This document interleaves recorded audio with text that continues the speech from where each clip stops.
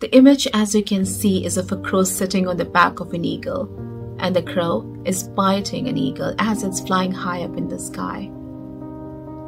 Only bird that can dare to peck at an eagle is crow, biting eagle's neck as it is flying high in the sky. And listen to this. The eagle does not respond. It does not fight back. What it does, it simply just opens up its wings and soar higher. Fly, it just flies higher, fly higher up in the sky.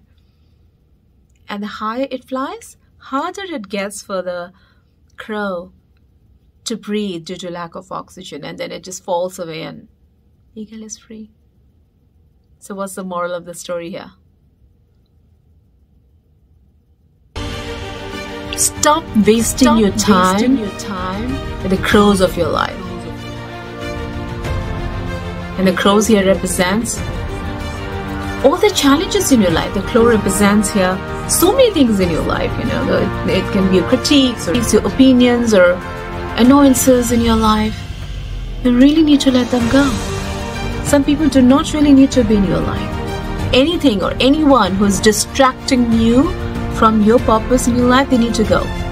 You need to let them go. I know it's tough, but need to let them go. Everything that's pecking at you, prodding you, disturbing you, and challenging you, you can choose to fight everything. Or you can, you know, choose to waste your precious energy on them and get nowhere. Or you can, like an eagle, and watch all your challenges just fade away. So, next time, when problems appear in your life, go higher. When people criticize you, go higher. When there seems to be an endless problem pecking at you, just go higher. Go higher. And just see all your challenges disappear in your life.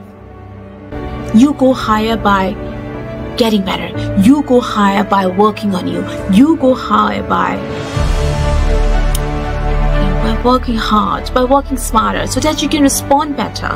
And when the crows of your life appear, they won't be able to stay for long because they won't be able to breathe at your level. So high.